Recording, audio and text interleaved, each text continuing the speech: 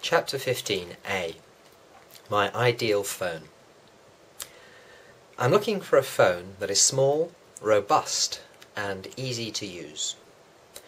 I want to be able to keep my phone in my shirt pocket. Recently I had a phone that was too big, so I ended up taking it out of my pocket and missing phone calls.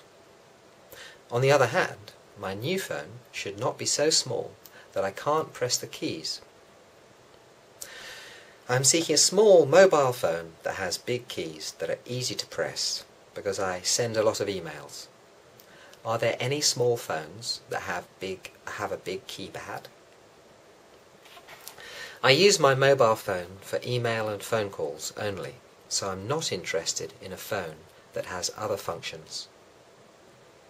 My phone is primarily for business use, so I don't need a phone that is fun I don't want to be able to watch anything on my phone. And I certainly don't want a phone that allows me to play games.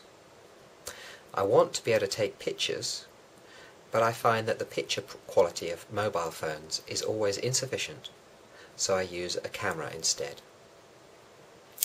Other than that, of course, I need a phone that is cheap to use and has long battery life. I don't mind if it has a small screen I also don't care what it looks like.